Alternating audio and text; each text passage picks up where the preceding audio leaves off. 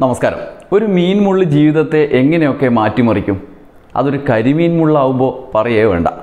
ഒന്ന് അങ്ങോട്ടോ ഇങ്ങോട്ടോ പോകാനാകാതെ തൊണ്ടയിൽ ഇങ്ങനെ കുടുങ്ങിയ മുള്ള് നമ്മുടെ ജീവിതത്തെ തന്നെ മാറ്റി മറിച്ചേക്കും. അങ്ങനെ ഒരു മീൻ മുള്ള് നിശ്ചയിച്ച ജീവിതത്തിന്റെ അത്ഭുതകരമായ ഗതിമാറ്റത്തിന്റെ കഥയാണ് പാച്ചുവും അത്ഭുത വിളക്കും എന്ന സിനിമ. സിനിമയുടെ തുടക്കത്തിൽ ഇന്നസെന്റിന്റെ കഥാപാത്രം പറയുന്നതാണ് സിനിമയുടെ അന്തസത്ത. ഒരു മീൻ മുള്ള് മാറ്റിമറിച്ച ജീവിതകഥ. കുറച്ച് വൈകിട്ടുള്ളൊരു വിശകലനമാണ് എന്നാലും പറയണമെന്ന് തോന്നിയത് കൊണ്ടാണ് ഇങ്ങനെ ഒരു പറച്ചിൽ. പാച്ചു എന്ന പ്രശാന്തിന്റെ ജീവിതത്തിൽ സംഭവിക്കുന്ന അത്ഭുത യാത്രയാണ് പാച്ചുവും അത്ഭുത വിളക്കും എന്ന സിനിമ. അത്ഭുതകരമായ മനുഷ്യന്റെ ജീവിതയാത്ര തന്നെ. ചില സംഭവങ്ങൾ നമുക്ക് മറ്റുള്ളവരോട് പറഞ്ഞ് വിശ്വസിപ്പിക്കാൻ പ്രയാസമായിരിക്കും. പക്ഷെ ആലോചിച്ചു നോക്കുമ്പോഴോ എല്ലാം വിശ്വസനീയമായി നടന്നവയുമായിരിക്കും. യുക്തിസഹമായി ആലോചിച്ചാൽ ഒക്കെ ഓക്കെയാണ്. പക്ഷെ മൊത്തത്തിൽ ആലോചിക്കുമ്പോൾ തീരെ ഇങ്ങനെയൊക്കെ സംഭവിക്കുമോ എന്ന് തോന്നും. അങ്ങനെയുള്ള ജീവിതത്തിലൂടെയുള്ള ഒരു യാത്രയാണ് പാച്ചുവും അത്ഭുത വിളക്കും അങ്ങനെയുള്ള ജീവിതത്തിലൂടെ ജീവിതങ്ങളിലൂടെയുള്ള ഒരു യാത്രയാണ് അഖിൽ സത്യൻ സംവിധാനം ചെയ്ത പാച്ചുവും അത്ഭുത വിളക്കും എന്ന സിനിമ. ജീവിത സാഹചര്യങ്ങളുടെ അവതരണത്തിൽ പോലും നല്ല സൂക്ഷ്മത പ്രകടിപ്പിക്കുന്ന കാഴ്ചപ്പാടാണ് അഖിൽ സത്യൻ എന്ന സംവിധായകൻ എന്ന് ഈ സിനിമ വിളിച്ചു പറയുന്നു. മുംബൈയിൽ ആയുർവേദ മരുന്നുകട നടത്തുന്ന പ്രശാന്ത് എന്ന പാച്ചു ഫഹദ് വാസിലിന്റെ കഥാപാത്രം. ജോലിയും കുടുംബവുമായി ബന്ധപ്പെട്ട കാര്യങ്ങൾക്കായി വീട്ടിലേക്ക് വരുന്നു കേരളത്തിലേക്ക്. നാട്ടിൽ അച്ഛൻ മുകേഷ്. അമ്മ അമേരിക്കയിൽ മക്കൾ മകളുടെ അടുത്താണ്. മുപ്പത്തിനാല് വയസ്സായിട്ടും പെണ്ണ് കിട്ടാതെ നടക്കുകയാണ് പാച്ചു. നാട്ടിലെത്തിയാൽ ഉടനെ ഒരു പെണ്ണ് കാണൽ നിർബന്ധവുമാണ്. അങ്ങനെ തിരിച്ചു പോകേണ്ട ദിവസം ഒരു വീട്ടിൽ പെണ്ണ് കാണാൻ പോകുന്നു. അവിടെ ചായക്ക് പകരം കരിമീൻ പൊള്ളിച്ചതാണ് കഴിക്കാൻ നൽകിയ വിഭവം. കരിമീൻ മുള്ള് തൊണ്ടയിൽ കുടുങ്ങുന്നു. അതോടെ പാച്ചുവിന്റെ ജീവിതത്തിലുണ്ടാകുന്ന അത്ഭുതകരമായ ഗതിമാറ്റങ്ങളാണ് ഈ സിനിമ. ഒരു മീൻമുള്ളു കൊണ്ട് നേരത്തെ പറഞ്ഞ പോലെ ജീവിതം മാറി മറിയുകയാണ്. പിന്നീട് കഥയിൽ അപ്രതീക്ഷിതമായ സംഭവങ്ങളുണ്ടാകുന്നു. മാലമാലയായി അവതരിപ്പിക്കുന്ന ജീവിതങ്ങളുടെ ഒരു പ്രളയം. സമാന്തരായി ഒഴുകുന്ന ഉപരിവർഗ ജീവിതത്തിന്റെയും അടിസ്ഥാനവർഗ ജീവിത പ്രയാസങ്ങളുടെയും സംഘർഷമാണ് ഈ കഥയുടെ ബീജം. മുംബൈയിലാണ് പാച്ചുവിന്റെ കേന്ദ്രം. അതേസമയം അപ്രതീക്ഷിതമായി യാത്രയ്ക്കിടെ ഗോവയും കടന്നു വരുന്നു.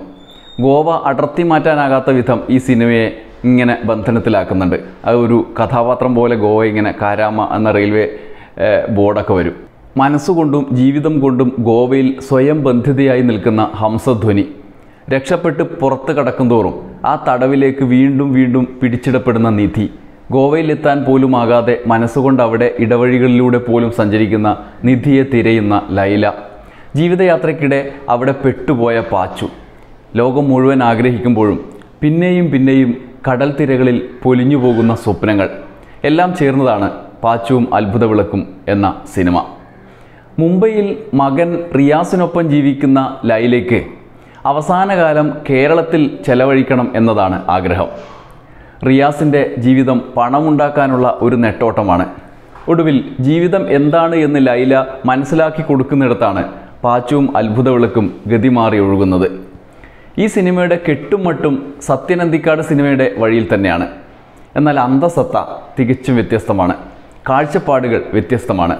ആധുനിക മനുഷ്യജീവിതത്തിന്റെ വികാസ പരിണാമങ്ങളിലൂടെ സഞ്ചരിച്ച ഒരു യുവാവിന്റെ പാകതയുള്ള ദർശനങ്ങളാണ് അഖിൽ സത്യനുള്ളത് എന്ന് സിനിമ പറയാതെ പറയുന്നുണ്ട്. പുതിയ ജീവിതം സങ്കുചിതമായ പാരമ്പര്യത്തെ കെട്ടിപ്പിടിച്ചിരിക്കാത്ത കാഴ്ചപ്പാട് ആധുനികത ഉൾക്കൊള്ളാനുള്ള മനസ്സ് ഇതൊക്കെ സംവിധായകനുണ്ട്. ഏറ്റവും പ്രധാനം പാച്ചുവിന്റെ കഥാപാത്രമാണ്. പാച്ചുവിന് നഷ്ടപ്രണയത്തിന്റെ ഒരു കഥയുണ്ട്. കൂട്ടുകാരനോട് പാച്ചു അത് ഒരു രാത്രിയിൽ പറയുന്നുണ്ട്. ഒരു പെൺകുട്ടി തേച്ചിട്ട് പോയ കഥ അങ്ങനെയാണല്ലോ പുതിയ ഭാഷ. അവരുടെ വ്യക്തിത്വത്തെ ആക്രമിക്കാൻ തുടങ്ങുകയും പൊസസീവ്നെസ് എന്ന ഓമരപ്പേരിട്ട് വിളിക്കുന്ന പുരുഷാധിപത്യത്തിന്റെ മുള്ളുകൊണ്ട് കുത്താൻ തുടങ്ങുകയും മുടി മുറിക്കുന്നതും വേഷമണിയുന്നതും ആൺ സുഹൃത്തുക്കളോട് പെരുമാറുന്നതും ഒക്കെ പ്രശ്നമായി മാറുന്നതും. ഒടുക്കം അവൾ വിട്ടുപോയതുമൊക്കെ സെന്റിമെന്റലായി സുഹൃത്തിനോട് പറയാൻ വന്നതാണ് പാച്ചു. പാച്ചുവിനോട് തുടങ്ങിയ സമയത്ത് തന്നെ പറയാൻ തുടങ്ങിയ സമയത്ത് തന്നെ കൂട്ടുകാരൻ ഇതെല്ലാം ഇങ്ങോട്ട് പറയാണ്. സ്നേഹിക്കുന്ന പെൺകുട്ടിയോട് ഇങ്ങനെയൊക്കെ പെരുമാറിയപ്പോൾ അവൻ ഇട്ടേച്ച് പോയല്ലേ? എന്ന് കൂട്ടുകാരൻ പാച്ചുവിനോട് ചോദിക്കുകയാണ്. അതെങ്ങനെ നിനക്ക് മനസ്സിലായി എന്ന് ഭാച്ചു തിരിച്ചു ചോദിക്കുന്നു. എല്ലാ തേപ്പ് കഥയുടെയും പിന്നിൽ ഇമാതിരി ആണുങ്ങളുടെ സ്വഭാവത്തിന്റെ ഒരു നെറികേടിന്റെ ഒക്കെ കഥയുണ്ടാകും എന്ന് ഈ രീതിയിലല്ലെങ്കിലും കൂട്ടുകാരൻ തിരിച്ചു പറയുകയാണ്. എന്നിട്ട് പെണ്ണിനെ കുത്താനും കൊല്ലാനും ഒക്കെ പിന്നാലെ പോകും. കയ്യിലിരിപ്പ് ഇങ്ങനെ ആയതുകൊണ്ട് പെൺകുട്ടികൾ ഓടി രക്ഷപ്പെടുന്നതാണ് എന്താണ് സത്യം. ഈ സത്യം പറയുന്നത് മുതൽ അഖിൽ സത്യന്റെ കാഴ്ചപ്പാടിലെ വ്യത്യസ്തത നമുക്ക് കാണാം. പിന്നീട് അത് ഹംസധ്വനിയുടെ ഏകാന്തമായ ജീവിതത്തിലേക്കും കടന്നു ചെന്ന് ആവർത്തിക്കുന്നുണ്ട്. അതുപോലെയാണ് പാച്ചുവിനെ കുറിച്ചുള്ള കഥാപാത്ര നിർമ്മിതി പാച്ചുവിന്റെ കഥാപാത്ര നിർമ്മിതി. ആയുർവേദത്തെ പിടിച്ചുകൊണ്ടുള്ള നൊസ്റ്റാൾജിയോടുള്ള ഒരു സമീപനം പാച്ചുവിനുണ്ടല്ലോ. ഇങ്ങനെ ആയുർവേദ കട നടത്തുന്ന പാച്ചു നിരന്തരം അലോപ്പതി ചികിത്സ നേടുന്നത് ഇടക്കിടക്ക് കാണാം. രണ്ട് മൂന്ന് തവണ സിനിമയിൽ പ്രത്യേകമായി അവതരിപ്പിക്കുന്നുണ്ട്. ഇങ്ങനെ നിരന്തരം പുതുക്കപ്പെട്ട കാഴ്ചപ്പാടുകൾ അഖിൽ സത്യൻ അവതരിപ്പിക്കുന്നുണ്ട്. ആ വീക്ഷണത്തിന്റെ അടിസ്ഥാനത്തിലാണ് അയാൾ ജീവിതത്തെ ആകെ നോക്കിക്കാണുന്നത് ഒരിടത്തും ആണത്ത പ്രഘോഷണങ്ങളില്ല എന്നതും ഈ സിനിമയുടെ ശ്രദ്ധേയമായൊരു കഥ കാര്യമാണ്. തിരക്കഥയും എഡിറ്റിങ്ങും സംവിധാനവും ഒക്കെ നിർവഹിച്ച് ഒരു കുഞ്ഞ് ബാലേന്ദ്ര മേനോനാകാൻ ഏഹ്, അഖിൽ ശ്രമിക്കുന്നുണ്ട്. അത് ഈ സിനിമയെ സംബന്ധിച്ച് വിജയിച്ചിട്ടുണ്ട്. മനുഷ്യ ജീവിതങ്ങളിലൂടെ കടന്നു പോകാനും അഖിലിന് നല്ല മിടുക്കുണ്ട്. സത്യനന്ദിക്കാടിന്റെ ഒരു ഇന്ത്യൻ പ്രണയകഥ എന്ന സിനിമയിലെ ചില തലങ്ങളോട് പാച്ചുവിന് സമാനതയുണ്ട്. അങ്ങനെ നോക്കിയാൽ ഒരു കേരളവും മുംബൈയും ഗോവയും എല്ലാം അടങ്ങിയ ഒരു Indian cinema pan Indian cinema അങ്ങനെ ഒരു കഥയാണ് പാച്ചുവും അത്ഭുത വിളക്കും. ഒരു ഇന്ത്യൻ പ്രണയ കഥയിലൂടെ കടന്നുപോയ ഒരു കയ്യൊപ്പ് ഈ സിനിമയിൽ അവിടെ ഇവിടെയൊക്കെ ഉണ്ട്. ഫഹദ് ഇന്നസെന്റ് മുകേഷ് എന്നിവരുടെ ഇടപെടലുകൾ ആസ്വദിക്കുമ്പോൾ ഇനി ഇന്നസെന്റ് ഇല്ലല്ലോ എന്ന് സങ്കടത്തോടെ നമ്മൾ ഓർക്കും. കുറേ കാലത്തിന് ശേഷം റിയാസ് എന്ന ഉഗ്രൻ കഥാപാത്രത്തിലൂടെ നമ്മുടെ വിനീതിനെ വീണ്ടും കാണാതെ കാണാനായി എന്ന സന്തോഷമുണ്ട്. ലൈലയായി എത്തിയ വിജി വെങ്കടേഷ് എന്ന നടി ഗംഭീര അഭിനയമാണ്. ഹംസധ്വനിയായി എത്തിയ അഞ്ജനയും നല്ല പ്രകടനമാണ്. ഇന്ദ്രൻസ് ശാന്തികൃഷ്ണ അഭിറാം സഞ്ജു ശിവറാം തുടങ്ങിയവരുടെ പ്രകടനം നമ്മുടെ മനസ്സിൽ തങ്ങും. അങ്ങനെ അയാളുടെ ഐഡന്റിറ്റിയുള്ള കഥാപാത്രങ്ങളായി ഓരോരുത്തരെയും അവതരിപ്പിച്ചിട്ടുണ്ട്. പണ്ടൊരിക്കൽ സലീംകുമാറാണ് പറഞ്ഞത് ഒരേ റൂട്ടിൽ ഓടുന്ന വണ്ടികളാണ് സത്യനന്ദിക്കാടിന്റെ ചിത്രങ്ങൾ എന്ന്. സത്യനന്ദിക്കാടിന്റെ മക്കളുടെ സിനിമകളും അത്തരം റൂട്ടിൽ തന്നെ പോകുന്നതായാണ് പെട്ടെന്ന് നമുക്ക് തോന്നുക. അനൂപ് സത്യൻ അഖിൽ സത്യൻ എന്നിവരാണ് സിനിമ എടുത്ത രണ്ട് മക്കളും.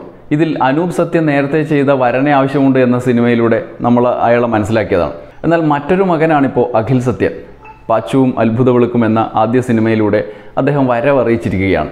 ഫഹദ് ഫാസിൽ നായകനായ ഈ സിനിമ കണ്ടു കഴിയുമ്പോൾ പെട്ടെന്ന് സത്യനന്ദിക്കാടിൽ നിന്ന് കെട്ടിലും മട്ടിലും ഒരു വ്യത്യാസവും തോന്നു തോന്നില്ല നമുക്ക്. നമുക്ക് പ്രണയകഥ ഓർമ്മ വരും ഞാൻ പ്രകാശൻ ഓർമ്മ വരും അതിന്റെ നന്മ മരങ്ങളെ ഓർമ്മ വരും. ആലോചന ഇങ്ങനെ കൂടുതൽ ആലോചിച്ച് നോക്കിയാൽ ഒരു വ്യത്യാസം മനസ്സിലാവും. കെട്ടിലും മട്ടിലല്ല. അത് നേരത്തെ ഞാൻ സൂചിപ്പിച്ച ജീവിത വീക്ഷണത്തിലാണ്. പാച്ചു അത്ഭുത വിളക്കും എന്ന സിനിമ മനുഷ്യരുടെ കഥ പറയാൻ ശ്രമിക്കുന്നുണ്ട്. അത് പ്രത്യേകമായി നമ്മൾ പറയേണ്ട ഒരു കാര്യമാണ്. അവിശ്വസനീയമായ സംഭവങ്ങൾ ഇങ്ങനെ കോർത്തിണക്കിയാണ് കഥ വികസിക്കുന്നതെങ്കിലും കുറേ മനുഷ്യരെ അണിനിരത്താൻ അഖിലിന് കഴിഞ്ഞു. മതങ്ങളുടെ പേരിൽ ഐഡന്റിറ്റിയുള്ള ആളുകൾക്കപ്പുറത്ത് മനുഷ്യരാണ് അവർ കഥാപാത്രങ്ങളുടെ സ്വഭാവത്തിലും പ്രതീക ചിത്രീകരണത്തിലൊക്കെ അത് പ്രത്യേകമായി കാണാൻ പറ്റും.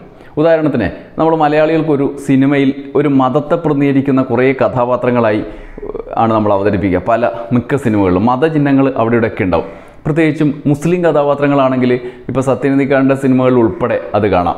തമാശ കഥാപാത്രമാണെങ്കിലും ഗൗരവമുള്ള കഥാപാത്രമാണെങ്കിലും ഒക്കെ അങ്ങനെ വരും. ഇപ്പോൾ മാമുക്കോയ അല്ലെങ്കിൽ മലബാർ മുസ്ലിം ഭാഷ പറയുന്ന ഒരാൾ അതുമല്ലെങ്കിൽ ഒരു തലേക്കെട്ട് ഇങ്ങനെ നിരന്തരം പ്രത്യക്ഷപ്പെടുന്ന മത ഐഡന്റിറ്റി ഉണ്ടാവും. എന്നാൽ മുസ്ലിങ്ങളും എല്ലാവരും അങ്ങനെയാണോ? അല്ല. തിരുവിതാംകൂറിലേക്ക് ഒരുപക്ഷെ മധ്യ കേരളം കഴിയുമ്പോൾ ചിലപ്പോൾ അങ്ങനെ വേർതിരിച്ചറിയാൻ കഴിയാത്ത വിധം ഇടകലർന്ന് ജീവിക്കുന്നവരാണ് എല്ലാ മതസ്ഥരും. മലബാറിലും അങ്ങനെ തന്നെ മിക്ക ഇടങ്ങളിലുണ്ട്. ചില പ്രത്യേക സ്ഥലങ്ങളിലാണ് ഈ ഐഡന്റിറ്റി വരുന്നത്. പക്ഷേ സിനിമയിൽ വരുമ്പോൾ നമുക്ക് എന്തെങ്കിലും ഒരു അടയാളം മസ്റ്റാണ് വ്യക്തിയെ മറികടന്ന് നിൽക്കും വിധം മതത്തിന്റെ അടയാളം അവിടെ കൊണ്ടുവന്ന് പതിപ്പിക്കും.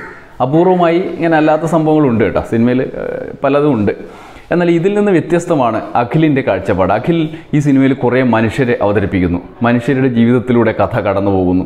മതത്തിന്റെ അടയാളങ്ങൾക്ക് അപ്പുറത്താണ് ആധുനിക മനുഷ്യന്റെ ജീവിതം എന്ന ഒരു വസ്തുത ഉൾക്കൊണ്ടുപോലുള്ള കഥാപാത്ര സൃഷ്ടികളാണ്. എന്നാൽ നമ്മുടെ മതനേതൃത്വങ്ങളും രാഷ്ട്രീയ ഇടപെടലുകളും എല്ലാം ചേർന്ന് അങ്ങനെയല്ല യാഥാർത്ഥ്യമെന്ന് വരുത്തി തീർത്തുകൊണ്ടേയിരിക്കുന്നു. അതിന് സിനിമയിലും അതിന് ഈ- സിനിമകൾ വിധേയപ്പെടുന്ന സിനിമകളുണ്ടാവുന്നു. മനുഷ്യന്റെ ആവശ്യങ്ങൾ ഒരു ചപ്പാത്തിയും ഒരു നേരത്തെ ആഹാരവും വിദ്യാഭ്യാസവും ഇതര മനുഷ്യന്റെ സന്തോഷത്തിന് വേണ്ടിയുള്ള പ്രവർത്തനങ്ങളും ഒക്കെ തന്നെയാണെന്ന് ഈ സിനിമ പറയുന്നു. അതൊരു കാലത്തും മാറിയിട്ടില്ല എന്ന് അഖിൽ സത്യൻ ആവർത്തിച്ചു പറയുകയാണ്. അതേ സമയത്താണ് ഒരു സമാന്തര ലോകം നിർമ്മിച്ച് അതിനെ മുഖ്യധാര ലോകമാക്കി മതങ്ങളെയും ദൈവങ്ങളെയും പുരുഷാധിപത്യത്തെയും ഒക്കെ മുൻനിർത്തി നമുക്ക് മുന്നിലിരുന്ന് ചില ശക്തികൾ കളിക്കുന്നത്. അവസാനം ഈ സിനിമയിലൊരു രംഗമുണ്ട്. ഒരു ചപ്പാത്തി അച്ഛന് കൊടുക്കുന്നതിന് പകരം കുട്ടിയിലേക്ക് മാറ്റി കൊടുക്കുന്ന ഒരു രംഗമുണ്ട് സ്റ്റാർട്ടിങ്ങിൽ അത് തിരിച്ചാണ്. മകൾക്ക് കൊടുക്കാതെ അച്ഛൻ അതിനുവേണ്ടി ഇങ്ങനെ ബലം പിടിച്ച് നിൽക്കുമ്പോൾ അച്ഛന് കൊടുക്കുന്ന ഒരു പുരുഷാധിപത്യ ലോകം. പണ്ടൊരിക്കൽ റിമാക്ക് അല്ലെങ്കിൽ വീട്ടിൽ ഇരിക്കുമ്പോൾ നമുക്ക് ഭക്ഷണം തരുന്നത് മീൻ മോശം മീൻ അതായത് ഇറച്ചിയുള്ള മീൻ സഹോദരനാണ് കൊടുക്കുക എന്ന് പറഞ്ഞ ഒരു ഗൗരവപ്പെട്ട ഒരു കാര്യത്തെ നമ്മൾ ഇപ്പോഴും പരിഹസിക്കാറുണ്ടല്ലോ. അതിന്റെ ഒരു പ്രതീകാത്മകമായ സിനിമ അവതരണമായി അഖിൽ സത്യൻ ഈ സിനിമയിൽ അത് അവതരിപ്പിച്ചിട്ടുണ്ട്. പെൺമ മകൾക്ക് കൊടുക്കേണ്ട ചപ്പ ഒഴിഞ്ഞ പാത്രത്തിൽ വിശന്നിരിക്കുന്ന മകൾക്ക് കൊടുക്കാതെ അച്ഛന് കൊടുക്കുന്ന അച്ഛന്റെ ചപ്പാത്തി പാത്രത്തിലേക്ക് ഇട്ട് കൊടുക്കുന്ന ഒരു രംഗം. അത് വളരെ വൈകാരികമായി തന്നെ അതിന്റെ എല്ലാ ചിന്തകളെയും അതിന്റെ സാമൂഹ്യ വീക്ഷണത്തെയും ഉൾപ്പെടുത്തിക്കൊണ്ട് ഉള്ളിലേക്ക് ആവാഹിച്ചുകൊണ്ട് തന്നെ വൈകാരികമായി ആ രംഗം അദ്ദേഹം ചിത്രീകരിച്ചിട്ടുണ്ട്. അങ്ങനെ മനുഷ്യന്റെ പ്രശ്നങ്ങൾ പറയാൻ കെൽപ്പുള്ള ഒരു ചലച്ചിത്രകാരനാണ് താൻ എന്ന് തന്റെ ആദ്യ ചിത്രത്തിലൂടെ അഖിൽ സത്യൻ പറയുകയാണ്. കേരളത്തിന്റെയും ഇന്ത്യയുടെയും സ്റ്റോറി പറയാൻ അഖിൽ സത്യന്മാർ ഇനിയും ഉണ്ടാകട്ടെ എന്ന് ആഗ്രഹിക്കാം. നന്ദി നമസ്കാരം.